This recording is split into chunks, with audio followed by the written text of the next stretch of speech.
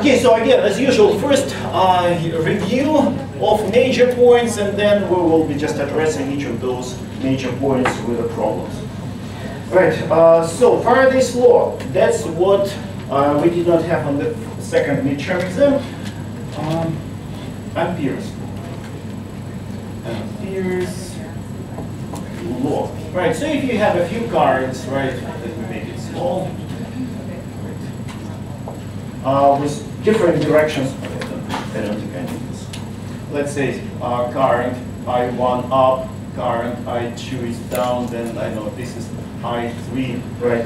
And Ampere's law, uh, you remember it's an integral over the closed loop B dot ds equals to mu, uh, mu naught times I enclosed. Yeah, speaking of Ampere's law, you remember we modified it later. We added displacement current. And I promised to you on the, on the, uh, during the class that I'm not going to uh, give you any questions on the displacement current, right? So we're going to use this Ampere's law without that additional term, which, which is called displacement current. Right, uh, so, and of course it is over uh, any closed loop which we call Amperian loop, right? So you can pick uh, any loop, let's say if you pick this loop, right? Uh, for the integration, of course, you need to pick a certain direction. Clockwise, counterclockwise, right, in order to integrate. So let's say you pick this direction, right? So that will be a direction of integration. And so this, yeah, you just need to evaluate for a certain system. Uh, and what about this are enclosed? These two currents are enclosed, oops, oops, oops, enclosed, and this guy is outside of the loop, so we are not counting that in. Now, uh, these two currents, every time in our systems, uh, currents are either parallel or anti-parallel. Yeah, guys, you can move uh, back and forth, feel free, right? Um, which of those currents are positive and which of those currents are negative? What was the rule? Do you remember a rule? How can we find which current is positive, which current is negative? Right-hand rule, right? So curl your fingers in the direction of your travel, right, around the loop. Sort of like this, or maybe I can draw it. But the drawing is going to be for one, two, three, four, and the finger is up, right? So that's the positive direction for the current. So in this case, it means that I1 is going to be positive and I2 is going to be negative, right? So in this case, I can write so I uh, in equals to I1 minus I sub 2. Okay, let me check if I mentioned everything. Yeah, that's it. So law. Of course, need to frame this because it's uh, And now I can separate. First block. Then, um, uh, yeah, we applied Ampere's law for an infinitely long uh, straight wire. Let's say infinitely long straight wire with a current I. Right. So, uh, of course, current, moving charges, they create magnetic field. They create magnetic field, and magnetic field lines are circles, right? Magnetic field lines are circles, right?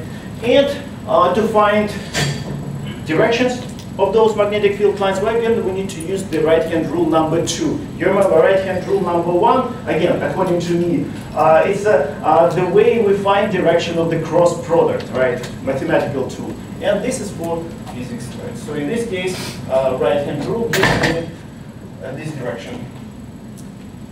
Right. So that's uh, magnetic. These are magnetic field lines. And the formula we derived it. It's a mu naught I over 2 uh, pi, uh, okay, we use d. d is the shortest distance, right? So if you take this point, all right, so this is d. Okay, separate this. Frame it. Okay, second. Uh, although I think we had questions in the second midterm exam on this formula, right? I think we did, right? So I could have skipped. So then, after this, we went, yeah. Is D the radius of the magnetic field? What is Okay, D, yeah, you can call it the radius to, to for example, one of these uh, magnetic field lines, but it's better to tell it's the shortest distance from the point where you want to find the magnetic field to the center of the wire. Okay. Yeah. Right. Perpendicular distance, the shortest distance, right? Okay. Okay. Uh, now, after this, we went uh, into the magnetic forces. So, magnetic force. Now it's a new bullet, right?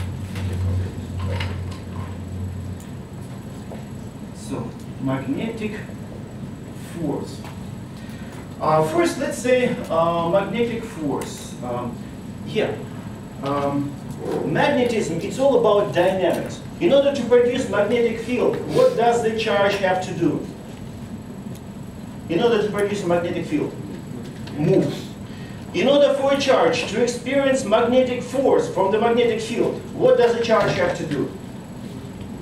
The same answer, move, right? So it's all about dynamics. If charge is at rest, it's uh, from the point of view of magnetism, it's a useless piece of charge, right? But of course, from the electrical point of view, it will produce the force and uh, it will create the electric field. But uh, from the magnetic field point, from the magnetism uh, charge must to move in order to produce field, magnetic field, and it must move in order to experience magnetic force. So let's assume that this charge moves with velocity v, for example. And let's say it is, it is it experiencing, I mean, it is exposed to the uh, magnetic uh, field B. So then there will be force acting on this charge. Uh, F magnetic, it's a Q V cross B. So now in order to find direction of this cross product, of course, we need to use right-hand rule number one. Right? You can use three fingers, you can use two, I mean, you can use the whole hand. Uh, actually, speaking of directions, what will be the direction of the magnetic force in this case? Actually, I did not tell you a very important piece of information. Let's assume Q is positive. Right? because your answer would be correct if uh, charge were negative, right? But in this case, if charge is uh, positive, then uh, V cross V, uh, V cross V, so it will be out of the board, out of the board. Okay. So frame this, one of the fundamental equations. And now, uh, magnetic force on a piece of wire. Let's say you have a piece of wire, straight one. I'm not going to give you uh, problems with the cur curved wire. I'm trying to be nice. We had one problem in our recitation classes. So let's say uh, current I flows that way, for example, and let's say it is a, it, it's exposed to the magnetic field. Let's say this is our B, and let's say uh, length L of this wire is exposed to the magnetic field. So the force then, in this case, um, maybe I will just put an error. So force will be in this case uh, I L cross B. What determines the direction of L? What determines direction of L? Current. Current. Current. This current determines direction of this L right? It's sort of artificial vector L. Uh, let me write. I determines direction of L. Okay, so let me frame this as well. Right. This is about this formula about that picture and this formula about this. Okay, so after this, uh, we went to uh, Faraday's law. Well, maybe I'll go over here. So far with Faraday's law. Another fundamental law, right? and so I'll just write down. So first, the most, yeah, we use the formula which we use most of the time. EMF, I forgot my loop. What did, uh, I think I was planning to put it in. I feel horrible now without my blueprint. I never go to the class uh, uh, when we talk about magnetism without that uh, my metal loop, right? Now I feel lost. yeah. Stretchable. Yeah. Okay. but it feels so. I'll try it. I'll keep it here.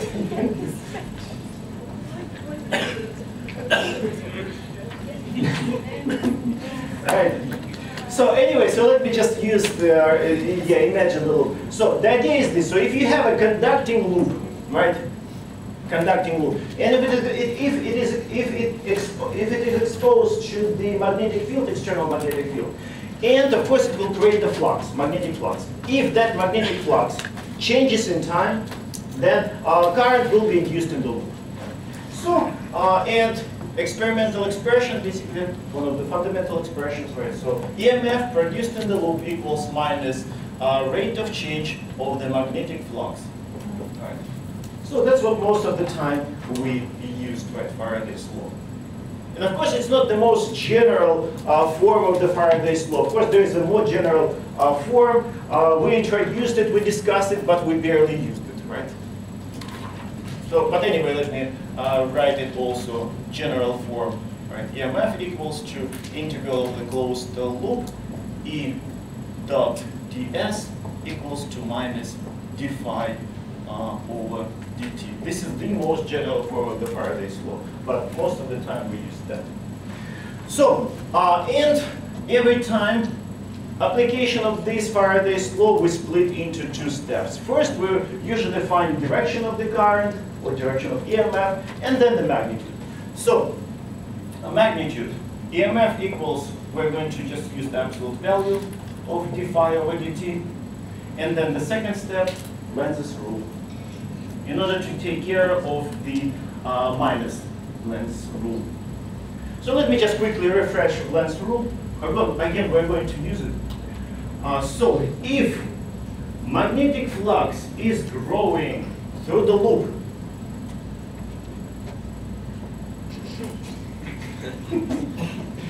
if the magnetic flux is growing, but it's fun, right? if the magnetic flux is growing, then the response of that loop, right, will be, right, shaky response, right? Uh, so the response would be, uh, system doesn't like changes. In this case, a flux is growing, that loop will not like it, and of course it will try to induce current in such a direction so that the induced magnetic field is in the opposite direction to the uh, direction of the external magnetic, magnetic field.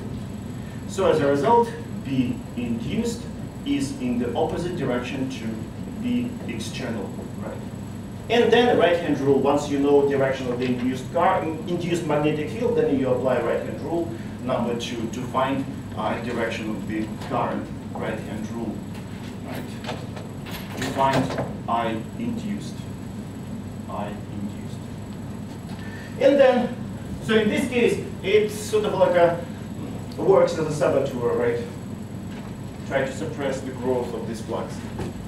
And if the flux, magnetic flux, is dying through the loop, then system becomes supportive, right? So it induces current, um, and as a result, induced magnetic field will be in the same direction as the external magnetic field.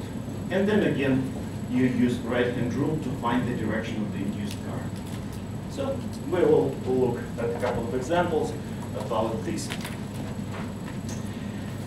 Okay, yeah, it's, I can separate this so Faraday, Faraday's law box, law. And after that, yeah, inductance, a few words about inductance, and then, then we introduce inductance. So first let's start probably with definition. Yeah, by definition, L inductance, three lines by definition. You just calculate the total flux, magnetic flux to the system and divide it by the current which creates the flux. That's what we uh, defined as the inductance. So that's just definition of the inductance. Units of inductance. What are the units of inductance? Henry, right? Units of uh, flux, magnetic flux.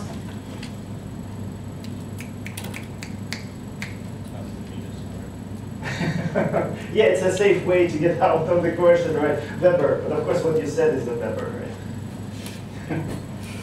right, uh, so these are uh, H, Henry.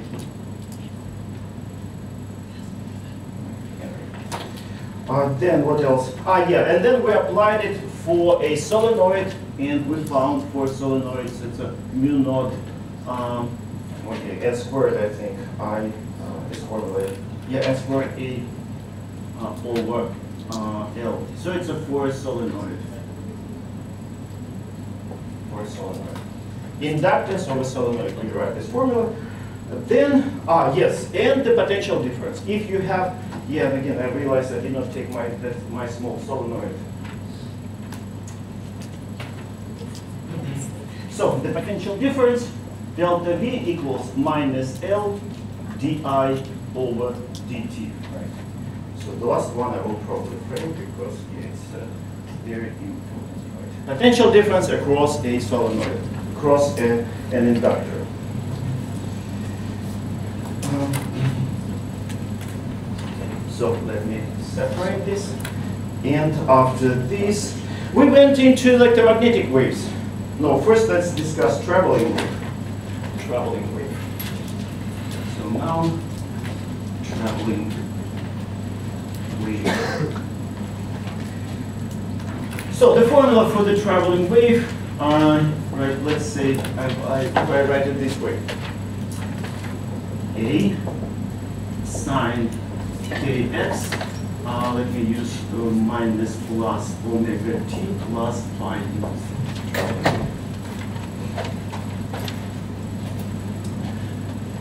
First, along which direction, along which axis does this wave travel? Along which direction does this, uh, that, does this wave, wait, wait, wait, wait, my question is completely, let's start with this. it's like, in which direction I'm pointing, right? Something like this. So now, along which axis does it travel? Positive x, positive x. This, if we had here z, it means it, it would travel along z direction, okay, positive z direction. If we had here y, it means it travels along y direction, right?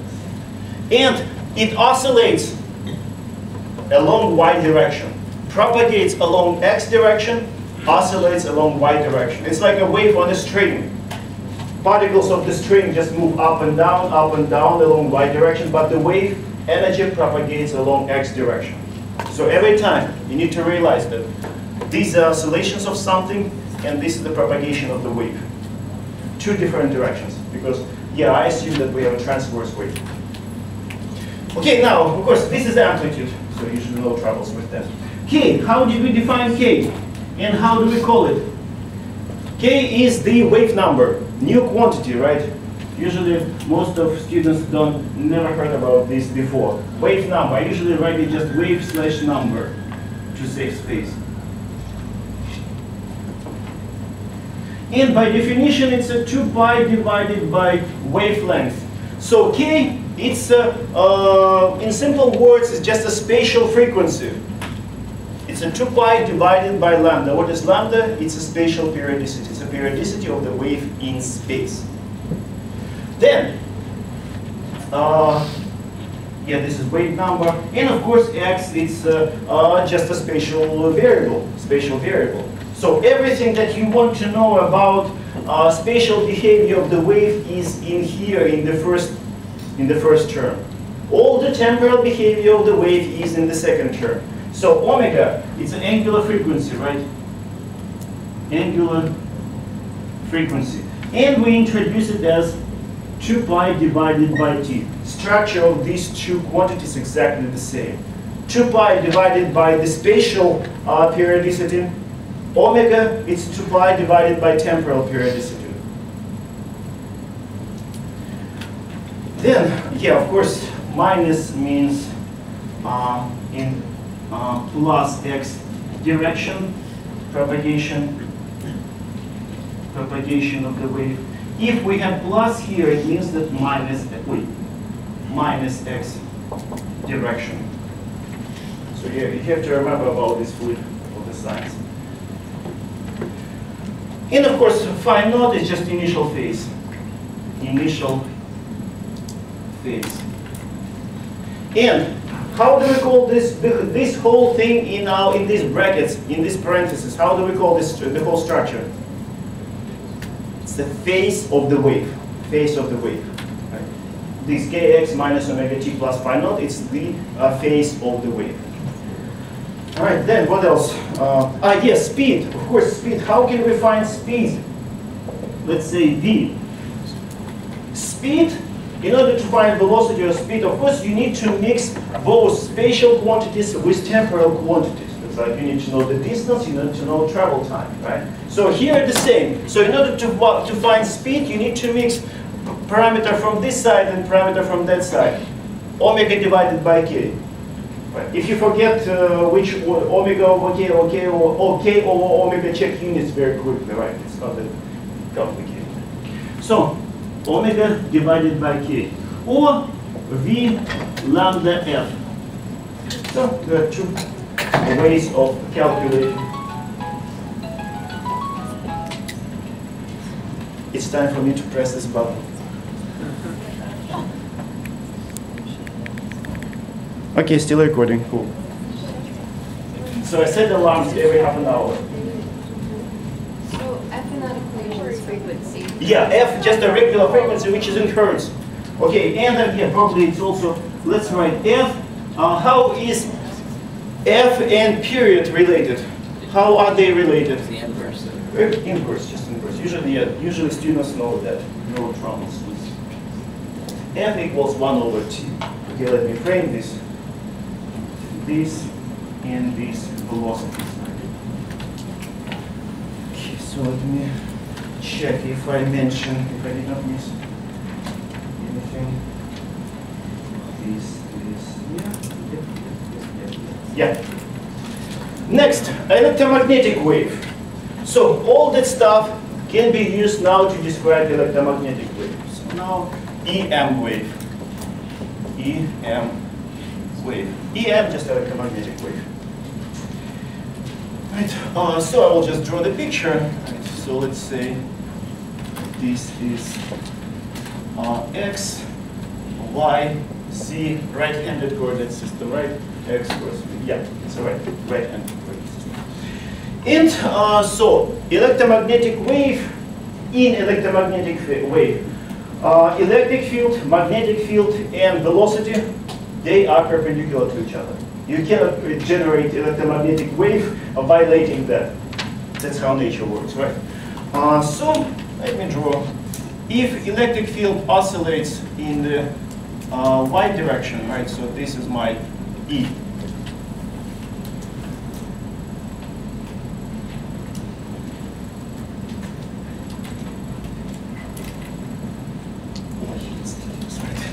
Then, uh, and uh, and if this wave propagates in the x direction, so this is the velocity, then magnetic field must oscillate, it must oscillate in the z direction. So this will be my the oscillations of the, so I can draw.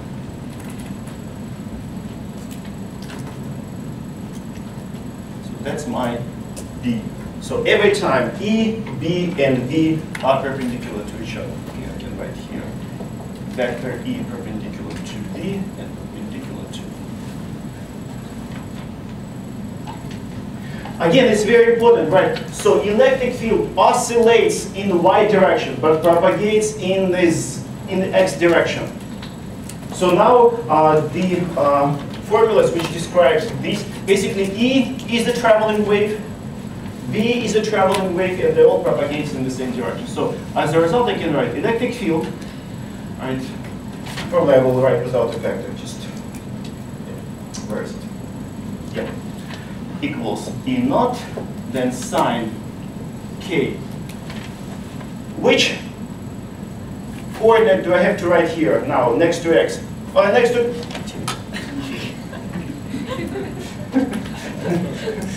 just the answer. of course, yeah, next to k it's an x, right? And since it propagates in the positive x direction, so there, will, there must be a minus over here. Then uh, omega t in phi naught. Usually when people work with electromagnetic wave, it oscillates so fast, oscillations, frequency is so large, usually initial phase is not that important. What should I put here? Subscript. Which sub subscript should I put here? Hmm? Louder. What I just told you about guys about this. It's a very common place for mistake. That's why I paused and started asking you and trying to get uh, answer out of you. Electromagnetic wave is a transverse wave. Electric field oscillates in the y direction, and this subscript should show that direction of oscillation. But the wave propagates in the x direction. So here x, it's a propagation of the wave, but the electric field oscillates in the y direction, transverse wave. It's like in a string, right? Again, as I mentioned, if you have a, a string and you create a wave, particles of the string just move up and down, up and down. But as a result, energy wave is, um, is transferred along in the horizontal direction. In the horizontal direction. So here we should put, okay, I will use red to emphasize why. Because again, every semester on the final exam, I see uh, plenty of mistakes of this type. Stu- students doesn't realize the direction of propagation and direction of oscillations are different. In this case, perpendicular. And I will circle this to emphasize different. perpendicular. Then a magnetic field. Um, magnetic field B uh, equals amplitude B naught times sine kx minus omega t plus phi naught. You see, this structure signs exactly the same. If you know uh, formula which, okay, I mean this expression which describes uh, this traveling wave, you can easily write down uh, expression for the magnetic field. This is exactly the same. The only difference is in the amplitude. Now, which subscript should I put here? C. Oh, it's good. Now I will Z and frame here. Nice. Because magnetic field oscillates in the same direction. And uh, again, it can be shown mathematically, but of course we did not do it. Electric field amplitude and magnetic field amplitude, uh, how are they related? And which field is stronger, first of all? Which, um, which um, uh, amplitude is, is larger? Electric field every time, gigantically larger. By the speed of light. They are related through the speed of light. Okay, so I will write it here. So electric field amplitude equals C times magnetic field amplitude. Again, it's another place where student, which another formula which students tends to forget. For example, I give on the exam this uh, expression describing the traveling wave of the electric field, and I would usually ask, so write down the expression for the magnetic field. And lots of nonsense over here writing down the amplitude of the magnetic field. Let me frame this.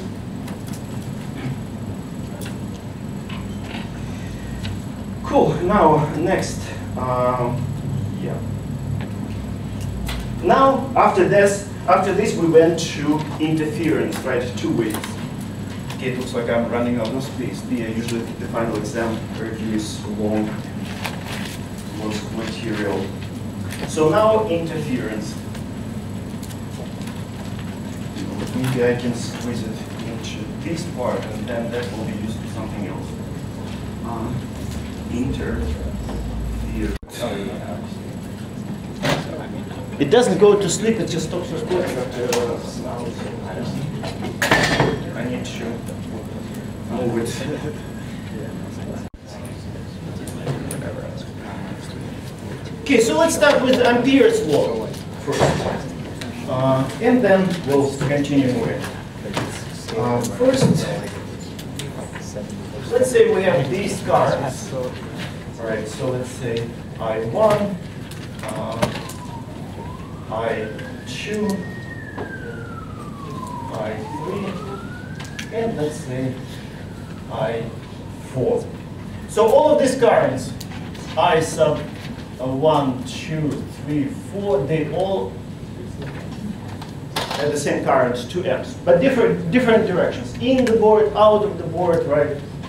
And let's say somebody forced you to use these, uh, for example, uh, Ampere, Amperian loop. Let's say something like this. Right? And let's say somebody forced you to uh, use this direction to calculate integral. So we need to find uh, this, the value of this integral, b dot ds. So the question is not about finding magnetic field, which is much, which simplifies the problem tremendously. We just need to find the value of this integral. So we just need to use Ampere's law. We just need to calculate properly which current is enclosed and uh, figure out which current is positive and which current is negative, right? So, um, so we just need to find I enclosed then. So uh, I4 outside, so it is not enclosed, so we have to we can forget about that. So now which current is positive? Which direction for a current is positive, in or out? Huh? In? I saw you. you No, I didn't. Ah, okay. So the rule, you remember, you just need to curl your fingers. Okay, I cannot draw three-dimensional case. Right, so you need to curl your fingers in the direction of the travel. And as a result, your outstretched thumb gives you direction for a positive current. So into the board is a positive direction. So as a result, uh, I2 is positive and these two guys are negative. Right? Make sense? Following guys? So as a result, I enclosed equals to I2 is positive minus I1 and minus I3. Right hand rule. Okay, I can show that these directions are according to the right hand rule. Okay, so now let's just calculate integral of b dot ds equals to mu naught and this. So I2 is 2 amps minus 2 amps and minus 2 amps of current, right? Because I assume that they're all the same, but of course directions are different. So of course you will end up with minus 2 uh, mu naught. It's more like a conceptual question, right? Just quickly check if you remember how to use the right hand rule in this case. Otherwise, it's quite trivial.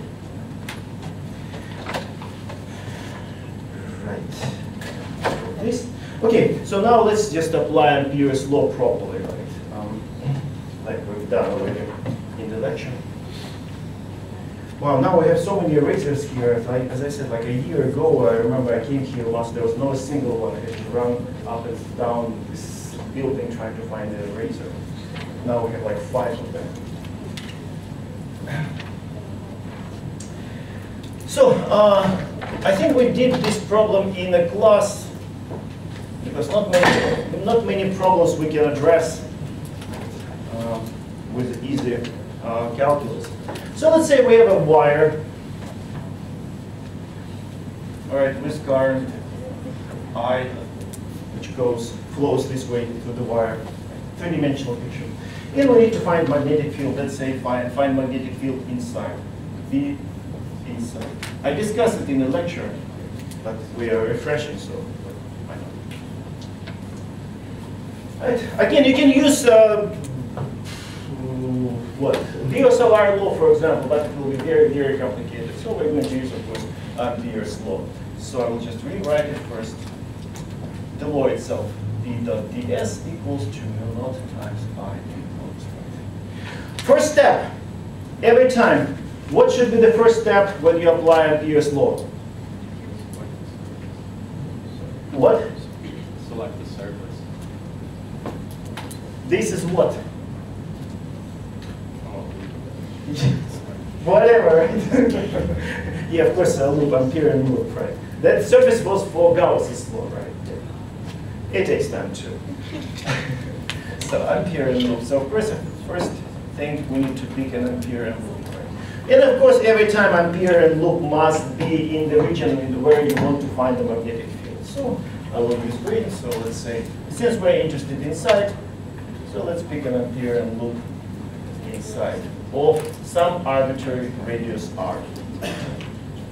Okay, and uh, now I will start evaluating the integral b dot ds. But still, which step I skipped, missed? What do I have to do also? with an, with an Amperian loop. Okay, it reminds me Uh, to, the travel yeah, travel direction, because we need to pick a travel direction. Uh, so which direction would be the best for travel direction? To make this current positive, right? We have to pick the direction to making this current positive. So it should be this way, which is uh, counterclockwise, right? Counterclockwise. This will be the best direction. So I can write as a result, this will be my ds, this will be my ds, uh, ds, right? So direction, travel direction is counterclockwise. In this case, this current is positive. Right, so now direction of the magnetic field. I'm not going to justify, but you can easily easily get what should be a direction.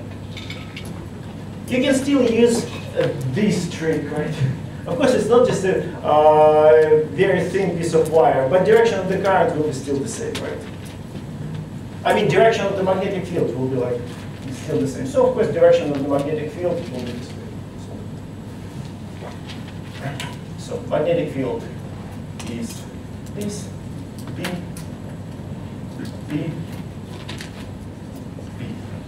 Okay, so now I will all set. I'm ready to uh, evaluate this integral. Right, so I can I can open up uh, my explanation box.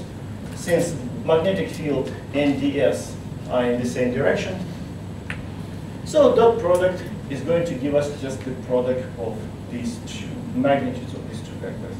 B dot ds equals to bds. So basically angle equals to zero between them. When we have when we have dot product, which function do we have to use? Sine or cosine? Another typical mistake for a place for mistakes. Cosine. Cosine function, cosine function, it will be integral of b uh, ds. Students sometimes, sometimes laughing that I'm asking which function do I have to use cosine or sine. But I grade the exams and I can see still tons of these uh, mistakes. So now, next, now we have to use properties, uh, symmetry of the problem. Uh, so if I take any point on the Amperian loop, what can you tell about the magnitude of the magnetic field? Strength of the magnetic field. Will be the same, will be exactly the same. But again, it's only about its strength, because directions of the magnetic field different. You see magnetic field direction here this way, here that way, here that way. So it means vectors are different. B as a vector, they're different because directions are different. But strength, magnitude, exactly the same. So B is the same. So let, let me open the explanation box. So since B is constant on the Amperian loop, so we can, as a result, we can take this B and extract out of the integral. Right? We've done this already quite a few times. Just refreshing. So as a result, I can take B outside, and as a result, we have integral of ds. And please, again, I see quite uh, often on the exam, students will write something like this, which doesn't make any sense from the mathematical point of view. ds equals to 2 pi r, right? Or uh, something, something like this, right? It's an integral of ds. What's the answer? It's a 2 pi r small. Okay, I should have uh, shown that the radius of this uh, wire is r capital, let's say r capital. This is just clear indication that uh, we have problems with calculus, serious problems with calculus, right? Let me erase it so that it wouldn't get, it wouldn't stuck into in your heads, right? So uh, that is just a circumference of that uh, Amperian loop, and as a result we have uh, b times 2 pi r.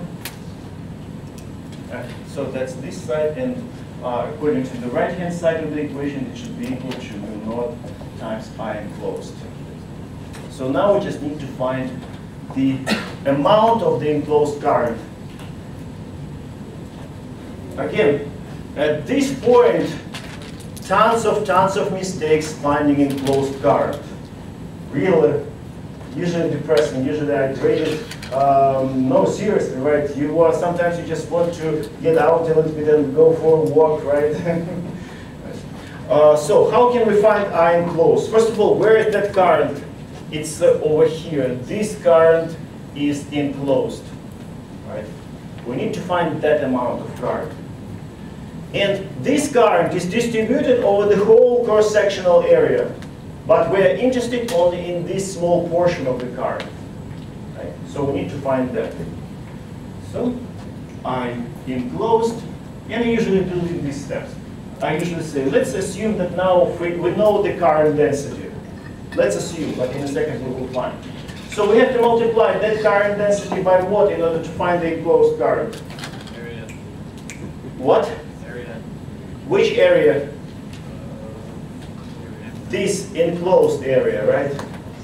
So which is pi r small squared. Because now at this point, usually r small, r capital is just uh, lots of lots of mass and nonsense. And again, it's not just uh, quite, uh, not just a few students. Usually it's a massive. Usually at this point, massive uh, number of mistakes. So times pi r squared, r small. Now, how can we find this current density? What? Now we need to, we, now we, it's, it's based off what we know. We know that this current I is uniformly distributed across the whole cross-sectional area of the wire. So we need to take the total current and divide it by the area uh, through which that current is flowing, right? So it's I divided by, by R capital squared. So now we just plug it here and that will be the final result. So it will be I over pi r capital squared times pi r small squared. Of course, pi gets cancelled, pi's get cancelled. And we have uh, i and the ratio of r small squared divided by r capital squared. Okay, so now we just need to plug it in our Ampere's law. B times 2 pi r equals to mu naught times i r small squared over r capital squared.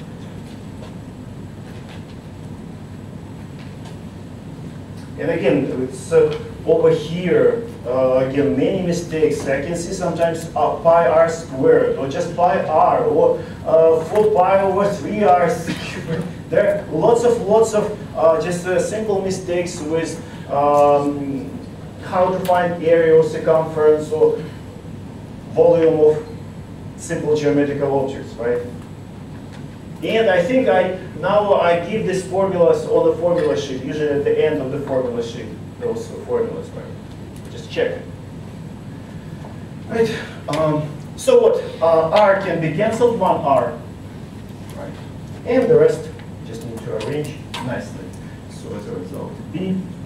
Now I will put as a function of R equals to mu naught I R stays here. Uh, 2 pi r capital squared and r separate because it's a, only one variable r small.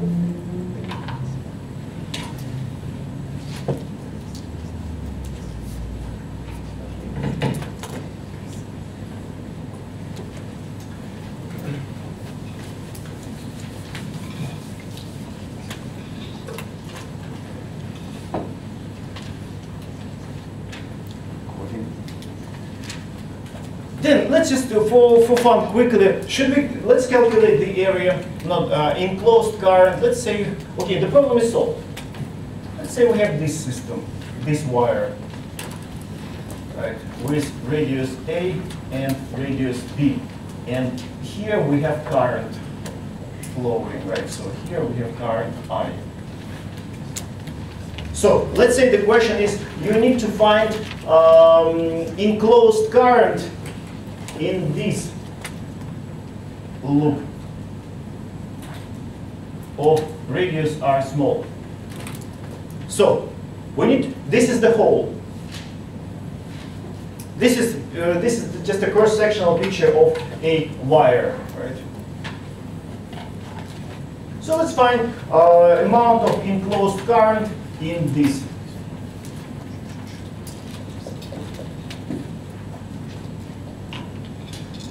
So we'll start with the same, right? So I will say, let's assume that current density is known, and then we'll find it. So I enclosed equals to J times uh, which area do we have to use now? I highlighted it, this greenish area. That's where our I enclosed current. In this hole, there is nothing, it's an empty space, it's a vacuum. So there is no current in the hole. So how can we find this area? So we need to take area uh, with the radius r small, this area, and subtract the area of this circle, right? So it's a pi r small squared minus pi a squared.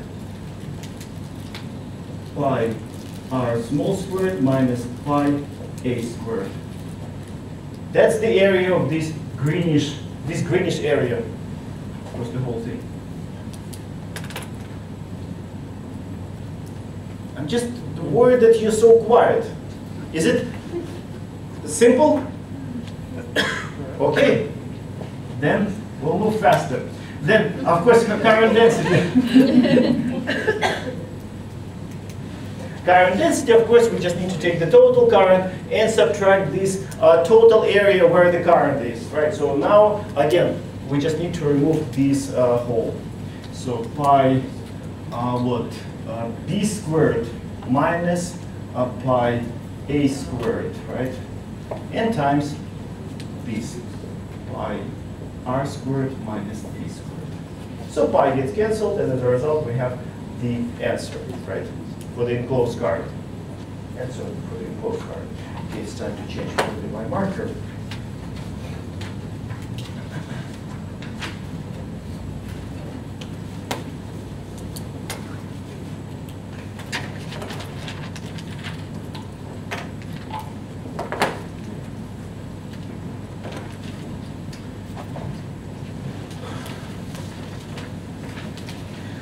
So then done with Ampere's law. Any questions about this? Yeah. Okay. Now forces, Faraday's. I mean um, magnetic force. I will erase this. Oh, can I?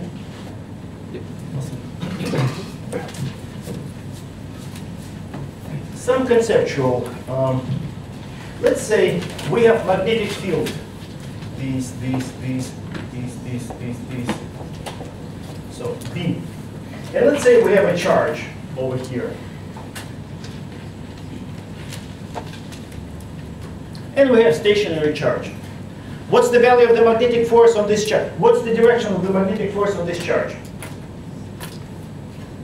And the value. Stationary charge.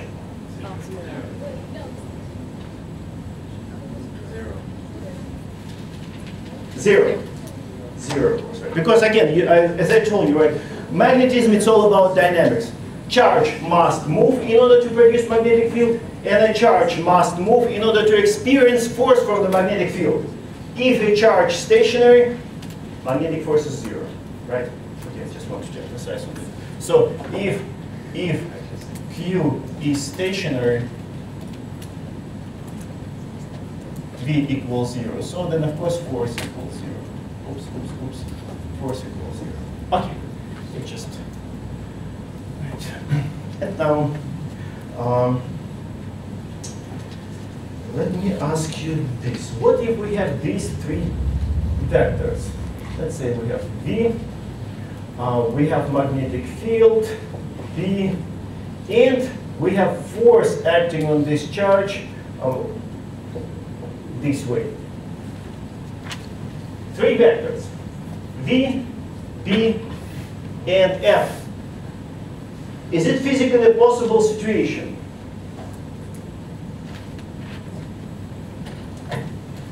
Force, you remember, E equals Q, V, cross B. Physically possible or not? Okay, V cross B. V that way, right? uh, again, I don't want to show uh, strange sign, right? V, V is into the board, right? So V cross B, force supposed to be this way, but this force doesn't make sense. So this is just a physically impossible situation. Nature doesn't work this way, right? Again, just blame God, right, for that. Of course, me for creating a situation which is impossible. So yeah, it's physically impossible. Right? Impossible. Because the actual force should be, uh, again, V cross B, the actual force should be this way. So that's the direct, that's a direction of the actual force. On this charge, assuming that this uh, magnetic field. Nice. Okay, good. Uh, now, now let's uh, look at this case that we separated. Let's say we have a wire, uh, which direction current flows uh, this way. I. And let's take bunch of charges and find uh, directions of the forces acting on these charges. Uh, so let's start with the positive charge over here.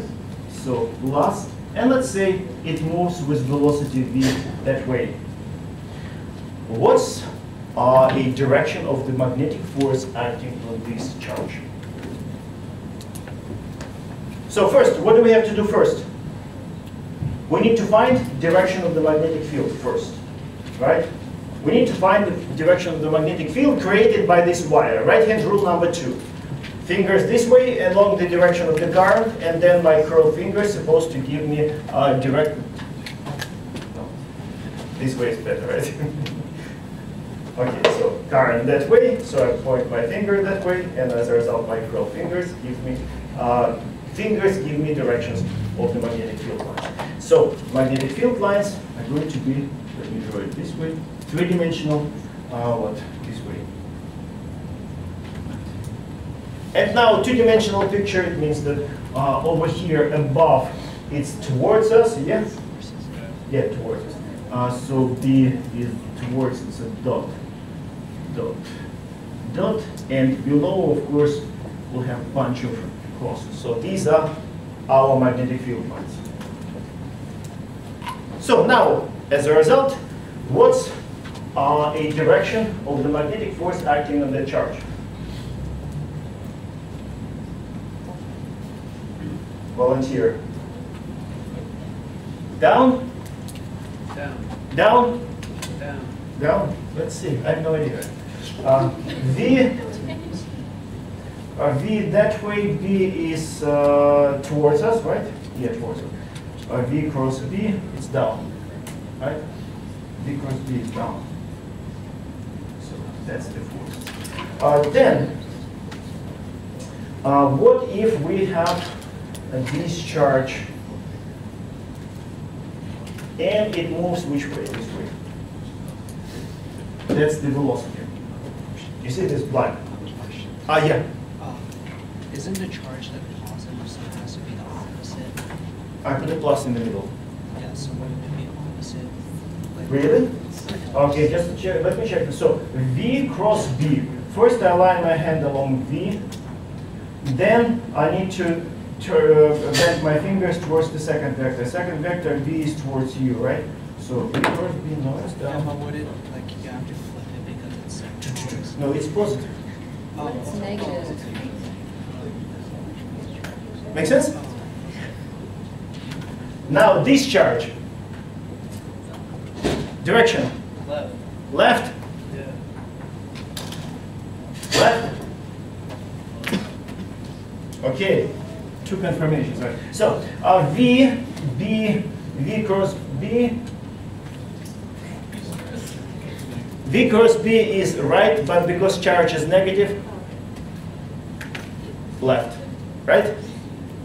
Guys, again, V cross B will be this way, right? So, uh, this will be V cross B, but charge is negative. So as a result, we need to flip it, and this will be direction of the force. Again, uh, sometimes I see students uh, still make these mistakes, uh, forgetting flipping the charge. Because you usually worry mainly about applying right-hand rule properly. As a result, the secondary problem, right, the flipping you can forget sometimes. Like you're happy, so finally, yeah, I found the direction, but then you need to flip. Charge is negative, right? Um, okay, it looks like you are good with these cross products, right? I have a question. Yeah. So if that positive charge is say on the bottom with the. Okay, let's do it.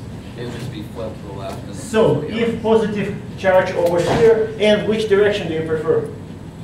I mean, direction of the velocity. Oh, I did not right, with the velocity. no, no, it's, that's, It would that's, the left, right? that's important. If uh, velocity to the left, then what? Uh, V cross uh, V, so what's the direction of the force? Be up. Really? I don't know. Uh, magnetic field is into the board. So, V cross B, would be down still. down. Right? Am I right? Yes. Because it's getting late. Right? So, uh, force this way. Okay, let me just ask you maybe another. So it's uh, now positive, no, I mean negative charge minus, uh, let's say, which moves this way. So what's the direction of the force in this case? Um, V cross V. The left. to the left. Cross product is to the right, but because charge is negative, it will be to the left. Right? So it will be to the left.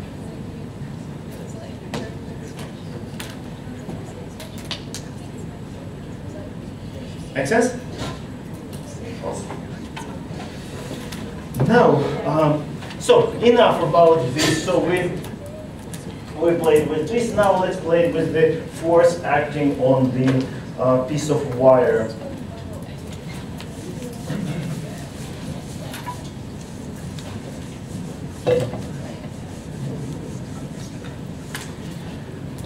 Okay, so we have, um, okay, I will put a new bullet. So here is the ceiling. Then here we have two springs and between them, there is a piece of wire. Everything is made out of conducting material, metals. It's a piece of equipment. right, so what? Uh, in order to find current, we just need to balance these two forces, right? That's it. F magnetic must be equal to mg. And from there, we should be able to find the direction, uh, to find the strength of the current. So uh, F magnetic must be equal to gravitational. So F magnetic. Uh, what's the angle between L and B? They're perpendicular to each other, right? L this way, B is into the board, right? So they're perpendicular to each other. And over here, let me show that L is perpendicular to the B, direction of B. So it will be ILB.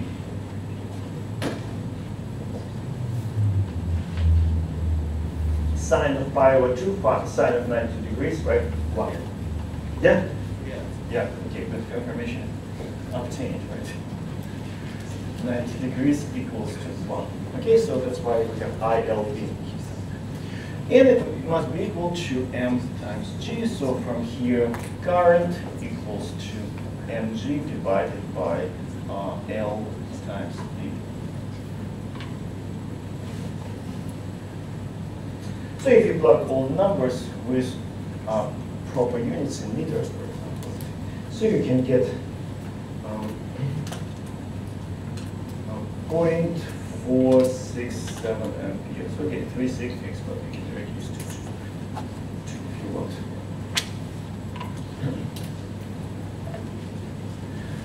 Okay, so that's just an application of magnetic force on the wire. Now let's move into probably Faraday's law. I will turn camera back on. Right. you know what, I'll this problem. Uh, you can look about the cyclotron radius. It just that lecture was screwed up completely when we discussing the uh, cyclotron radius. Okay, so Faraday's law. Let's discuss Faraday's law.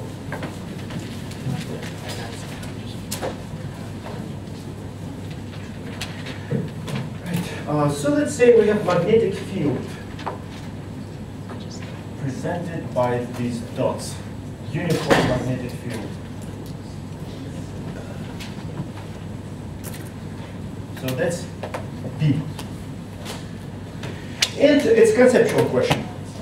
And let's say we have uh, these loops. So first case, let's say we have a, a loop on this string, right? And let's say this loop oscillates this way, just swings from side to side, right? Um,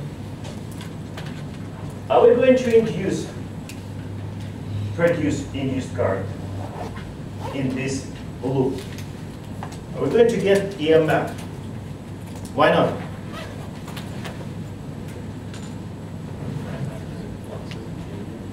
Yeah, because again, every time in order to justify, you need to look what happens with the magnetic flux. Because Faraday's law, EMF equals to minus d phi over dt, phi m, magnetic flux, right? So every time, flux must change in time. So you need to look at the flux. And flux, by definition, actually I should have written over there, it's a b dot a, b dot a, or it's a ba and cosine of the angle between them. So every time you need to look at these three parameters. What happens with the magnetic field? What happens with the area? And the angle between B and A. In this case, magnetic field, it's a uniform magnetic field which goes to that infinity and to that infinity. So it's everywhere. So as a result, magnetic field is constant. Area, we don't do anything with the area, area stays the same. And the angle also stays the same. I can pick um, area vector out of the board, for example, right? So the angle will be zero in this case. So uh, in this case, uh, EMF equals zero, and I induced will be equal zero. Right? So no induced current. Right? Now, uh, second case. What if I have? Oh, let me do this. Uh, on a spring it's not a solenoid, it's a spring. Right. And then the loop. So basically, it just moves up and down. So what's the induced EMF? Zero again, for the same reason, right? Because again, all these three parameters are constant, right? So as a result, EMF equals zero, and I induced will be also zero. Now, next, uh, what if we have this again, a string, and now loop, and how did I draw it? Ah, yeah, this way. So let's say it is, we're spinning it this way. Are we going to produce EMF? In this case. We're producing EMF or not? Yeah. Because which parameter is changing? BA theta. Theta. Theta. We're changing angle, right? So theta is changing, right? So as a result, uh, EMF induced, of course, is not equal to zero. And of course, I induced is not equal to zero. So now EMF produced. Now, uh, next.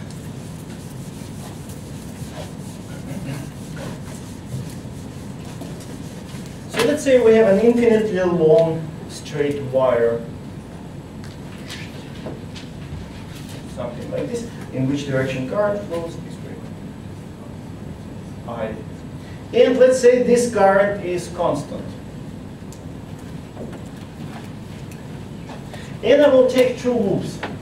One is here and it moves this way. Right, so let's say this is my loop right? And we're dragging it that way.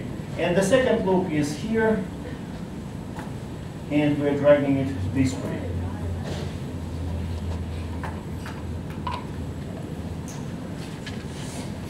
Okay.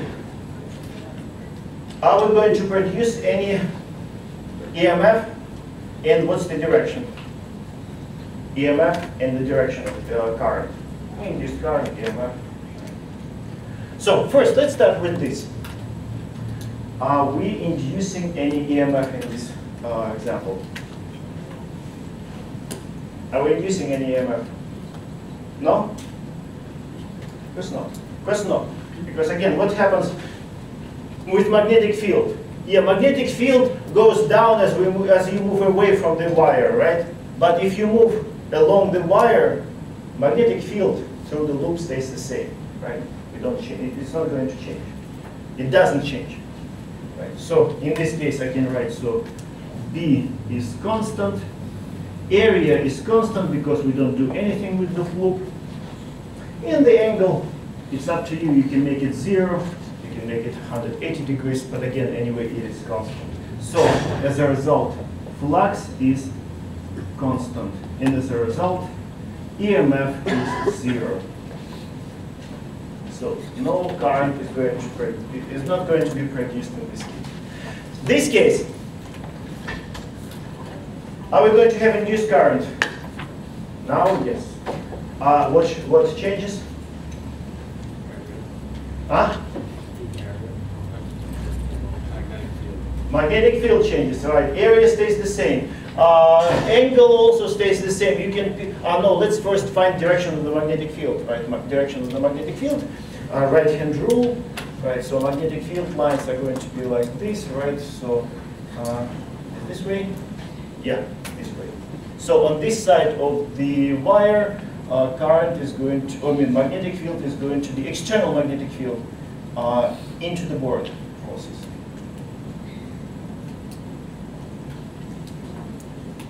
So that's our B external. On this side, of course, B external can be presented with these dots. right?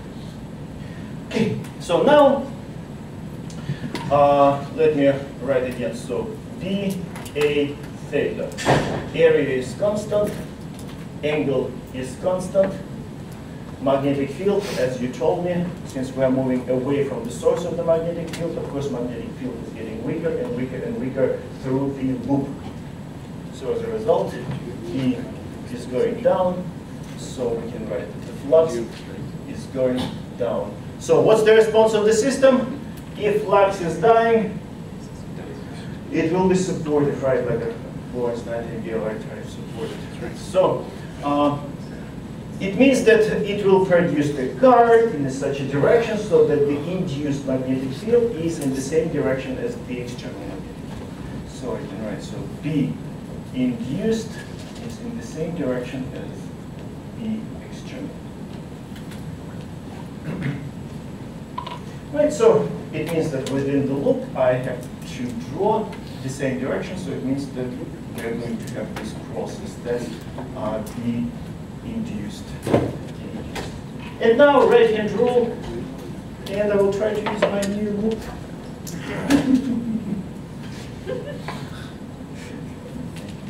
Right, so uh, into the board, so it means I have to position my hand. It still works, actually nice, right? Convenient, right?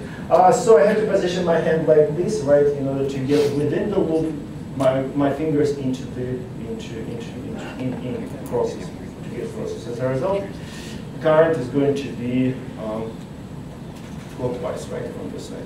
Clockwise. So current is going to be clockwise. So that's my I induced. I induced. Spread here. I induced clockwise. So it's going to the right rule. Okay. Number two. Number one, we used to find direction of the cross product. How does the velocity vector affect the right-hand rule there? Does it affect the rule? Uh, say it again. How does the velocity vector, which way the velocity? Uh, no, that's uh, no velocity uh, cannot change the direction of the induced current unless unless you change the uh, unless you start moving it that way. Right, okay. Right. If you start moving this loop that way, direction of the current It'll switch. so it will be opposite, right? But the magnitude of the velocity is not going to change the direction unless you change the direction of the velocity. Alright, But of course, uh, magnitude of this velocity is going to change the strength of this current. right. Right, if you move faster, you're going to produce more. Right. Produce more. Right, okay, good. Clockwise, yeah, awesome. Okay, now let's calculate. Uh, we had this problem in our classes, I think, right? Um, so let's just repeat it. Okay, we erase this. And after that, we'll move into inductance.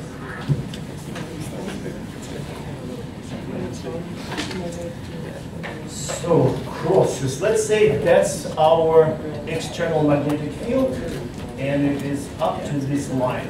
So cross, cross, cross, cross, cross.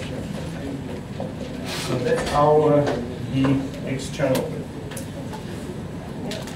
And let's say we have a loop, uh, rectangular shape. Right, we've done this problem before. And let's say it moves with velocity v.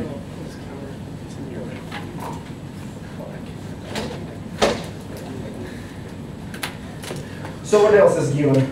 This width L, uh, let's say five centimeters. Uh, then magnetic field P external is 0.2 Tesla. And velocity is 50 meters per second. So we need to find uh, EMF and we need to find induced current. Hmm. We've done. Uh, and, and, and resistance of the loop is 0.1 ohm.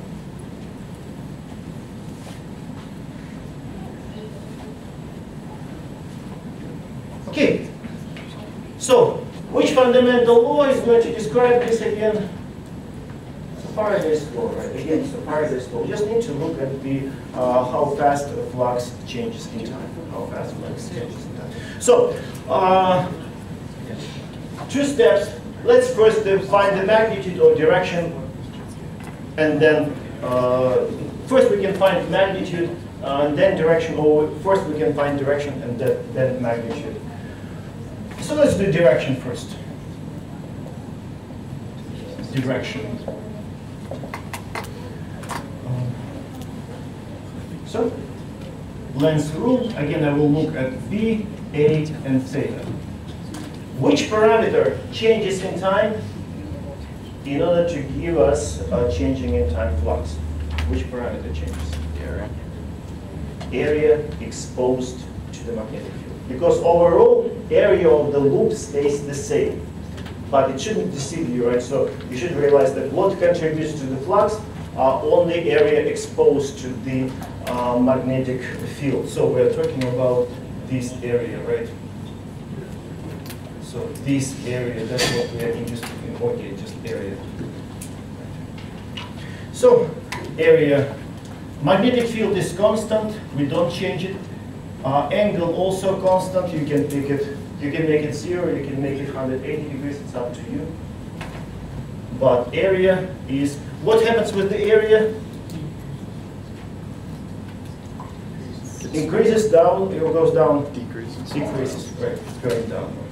Again, let me emphasize that uh, area exposed uh, to magnetic field, exposed to the magnetic field. So I highlighted this greenish area. Right. Okay, so uh, if area de decreases, so flux decreases. And as a result, system is supported, right? System will be supported. It will induce magnetic field in the same direction as the external magnetic field. So I can write it here. So B induced is in the same direction as B external. And I need to remove this.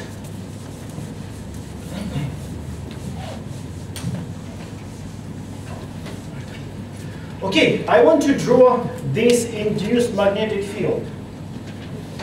uh, in the same direction, so crosses. Do I have to restrict myself in terms of drawing these forces only to this greenish area? I have to restrict myself. Can I draw cross over here? No, You said no? I would say. Guys, No. is it allowed? Why not? That's where the magnetic field is going, out of Probably this. Maybe. Maybe. We're not in quantum mechanics, right? Everything is solid, right? In quantum mechanics, yeah, you can, you can debate is it a particle, is it a wave, right? Look, this induced magnetic field produced by what? Say that one more time? This induced magnetic field. Mm-hmm. What is the source of this magnetic field? Is the magnetic field on the No, outside? no, no. Uh, one step deeper, right? Not deeper. Uh, current, induced current, right? Yeah.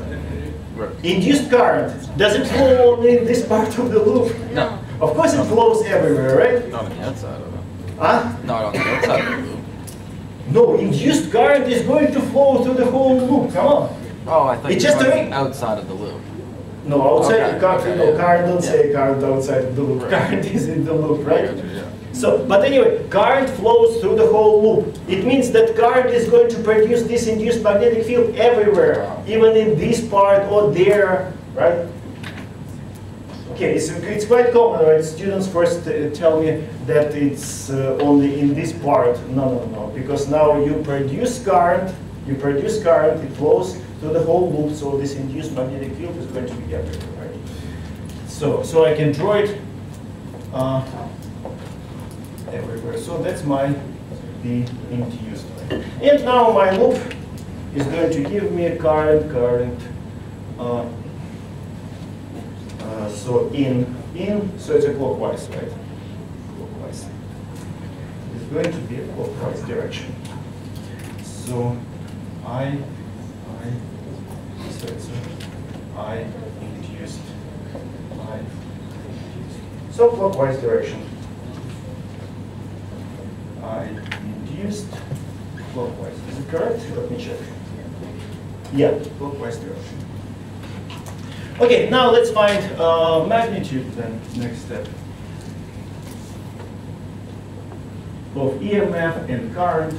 Okay, so now we just need to look at the absolute value of d phi over dt. EMF equals to absolute value of d phi over dt. Okay, so uh, let's find now uh, flux. Again, by definition, it's B dot A. Right. Area vector. Let's just make an angle zero. Since the surface is open, you can uh, pick any direction for the area vector. So I will pick in the same direction as the external. So A, A you see, A. So in this case, it is equal to BA because the angle is zero. Although if even uh, if it were if it were pi cosine of pi minus one, but anyway we are taking absolute values, so who cares?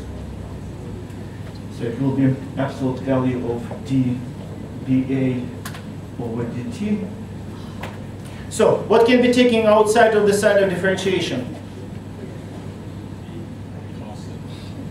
Constant. Well, what is constant? No idea. You have no idea. Come on. Um, what is constant?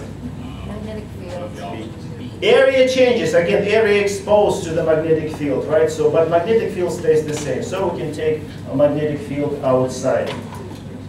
So magnetic field can be taken outside because it's constant. So as a result, we'll have uh, B and absolute value of dA over dt. right? Because B is a magnitude, so it's just a number. Okay, at this point, again, I, I keep saying, uh, like a few years ago, I had a very, very good student in summer, but on the final exam, at this point, particular point, he got stuck like uh, for 20 minutes, he couldn't move, right?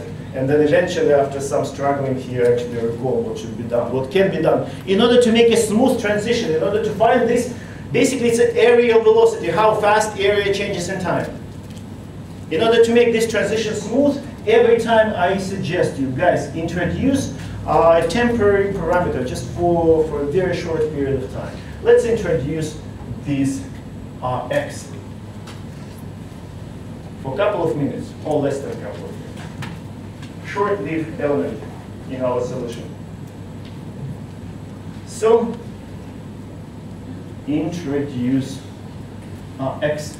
So as a result, area equals to, in terms of this x, what should be the area? Excellent. Excel. That sounds like Excel, right? The software. Okay, let me use LX. Time to creative, right? LX, so if I plug it there, okay, so it will be uh, B and d over dt, absolute value of Lx. And now, of course, now we know what is constant, right? L. L can be taken outside. X, the variable, right? So L goes outside and we'll have B, L, an absolute value of dx over dt. And dx over dt? Velocity, right? Speed, speed, in this case, just the speed of uh, this uh, loop, right? How fast x changes in time. That's velocity, Uh, B, L, V. Okay, so now, so EMF equals to BLV. Uh, guys, quite often I see it because it's easy to remember, right? Quite often students just remember these formulas, right? And they'll, they'll, they'll just write it down immediately, and I don't like it. Seriously. All right, I want to see physics. I want to see that, right? Yeah, that's what makes me happy. Right? Okay, so if you plug numbers, you will end up with uh, right, 0.5 volts. Actually, I wanted to ask you, but I already mentioned it. I already said what the, what the units 0.5 volts. So now, how can we find current? Ohm's law, right, divided by the resistance. So you will said. So I equals to induced EMF divided by R. R is 0.1, so it will be uh, 5 amps. 5 amps of current. Okay, the next problem I will skip. You can, I will send you my PDF file. You can look at this. Okay, inductance. Any questions about this problem? Or Faraday's law in general, or Lenz's rule? Again, every time we have to analyze what happens with the flux. And don't forget to analyze three parameters, BA theta, BA theta.